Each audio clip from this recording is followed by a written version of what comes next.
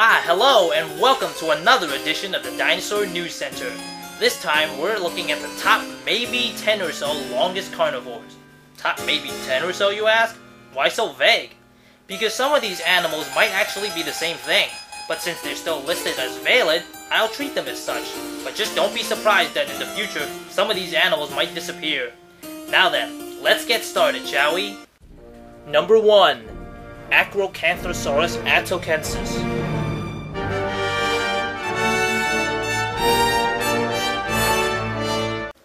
From early Cretaceous North America comes Acrocanthosaurus.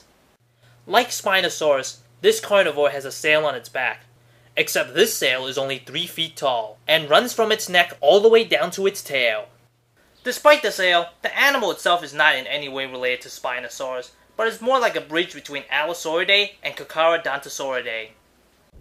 Number 2. Allosaurus fragilis.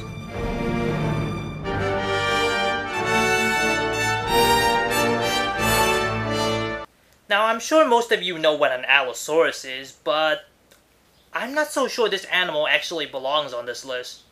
All the predators on this list are at least 38 feet long. The longest definitive specimen is only 32 feet long, or 9.7 meters, in the American Museum of Natural History. So why is Allosaurus on this list? Stick around, you'll find out in a minute. Number 3.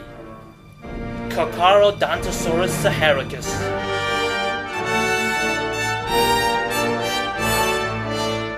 Carcharodontosaurus of mid-Cretaceous Africa is only the second carnivore to dethrone T-Rex from the position of largest carnivorous dinosaur. But then it turns out the skull itself was artificially enlarged, making it much bigger than it really is. That said, it'll still easily rival any predator on this list. Number 4. Deltadromeus agilis.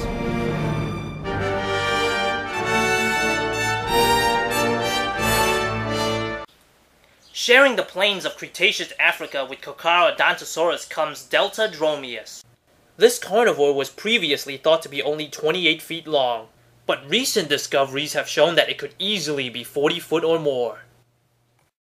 Notice how this list is referred to as the longest and not largest? Largest refers to body length and weight, and Deltadromeus is actually one of the most lightweight predators on this list. Number 5. Edmarka rex.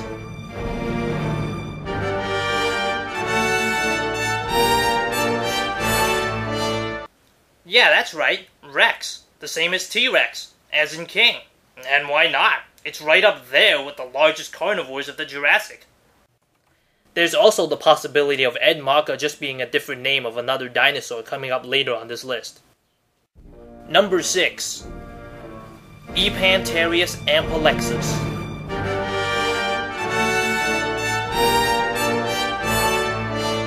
Epanterias amplexus or Allosaurus amplexus? Its status is still in debate and nobody knows, but for now, it's still a valent animal. It may just be a really big Allosaurus. If Epanterias really isn't an Allosaurus, don't worry, we still have another one. Number 7. Mapusaurus rosei.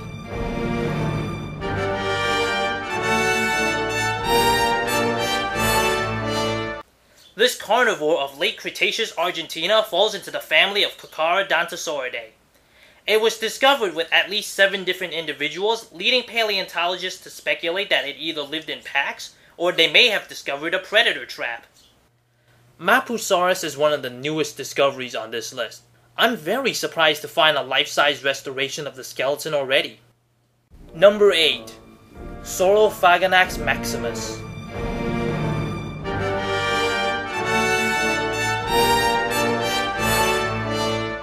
Why hello again, Allosaurus with a different name. This is the last carnivore on this list that might just be a really big Allosaurus. And the only difference we know so far is that it's, um... It's really big, and it's really big.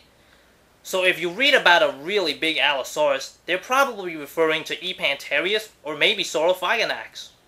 Number 9. How would you classify it, Billy? Well, it's a super predator. Suchomimus. Snow. No, think bigger. Baryonyx.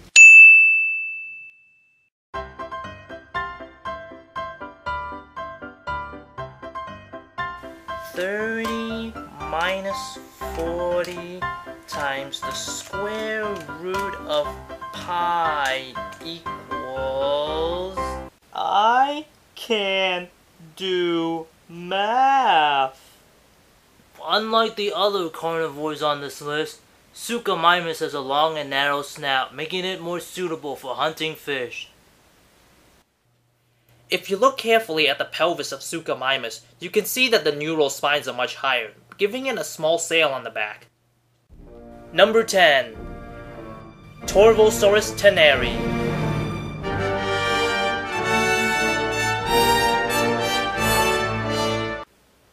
What Edmarka would be called if it was in fact a junior synonym of Torvosaurus.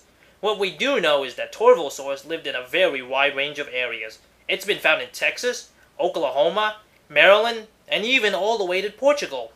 At least we can say that Torvosaurus holds the crown for the largest predator in Europe. For now. And that about wraps it up for our top maybe 10 or so longest carnivores. Are there more? Yeah, and I'm saving them for later. Did I have to use all those allosaurs? Nah, I just want to get that mess out of the way first. Now then, let's move on and introduce this episode's dinosaur. For this episode, I think I'll introduce you to my very first dinosaur.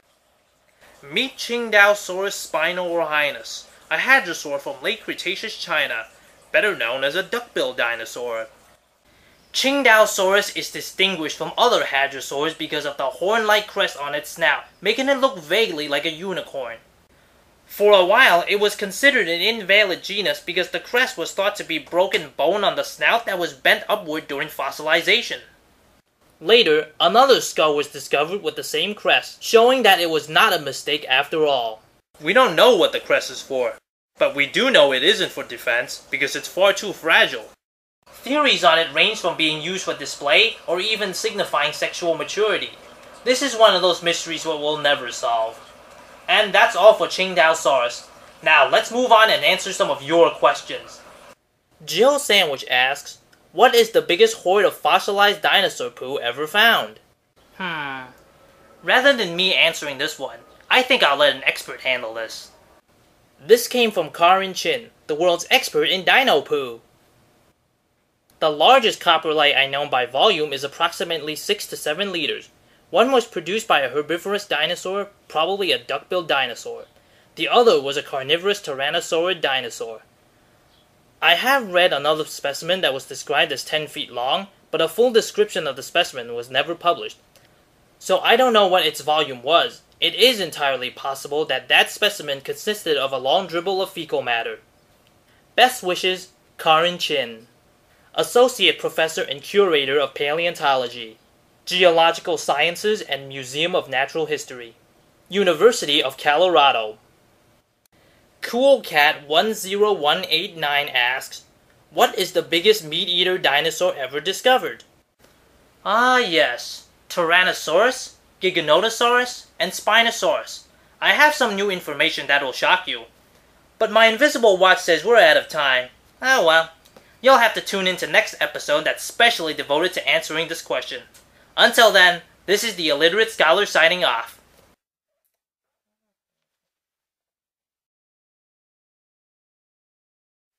Bigger. Adjective. Of great size. Large. Hmm.